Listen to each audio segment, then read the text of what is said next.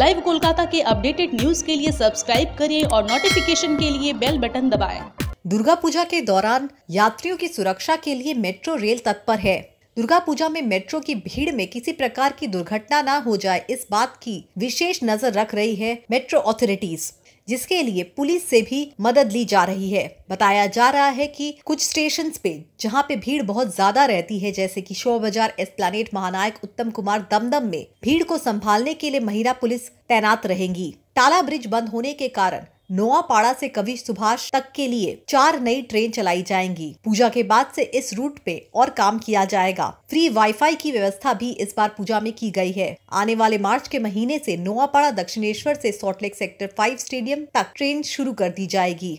इस बार दुर्गा पूजा के समय दो सौ चौवालीस ट्रेन चलाने की बात की गई है, जिसमें नॉन एसी एसी दोनों ही रहेंगी। सप्तमी, अष्टमी, नवमी को दोपहर एक बजे से लेके अगले दिन सुबह चार बजे तक ट्रेन चलेगी। वहीं दशमी पे 132 ट्रेन चलाई जाएँगी, जो कि दोपहर एक बजे से लेके रात 10 बजे तक चलेंगी। कंट्रोल रूम पूरी तरीके से सबकी सुरक्षा के लिए और सहायता के लिए तैनात रहेगा। May I help you RPF booth भी हर जगह तैनात रहेंगे। वहीं मोबाइल आरपीएफ स्क्वाड्स भी प्रत्येक स्टेशन पे रहेगी।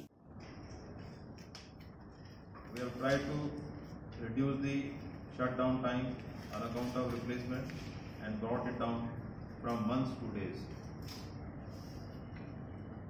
During the puja, we will be providing safety and security to our esteemed, esteemed commuters, adequate security arrangements by our Railway Protection Force, Metro Railway, all officers and staff and MRP, Metro Railway Police, will be provided.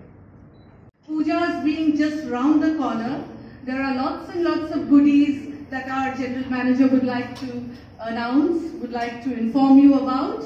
But before that, I would request you all to kindly introduce yourselves, starting from up.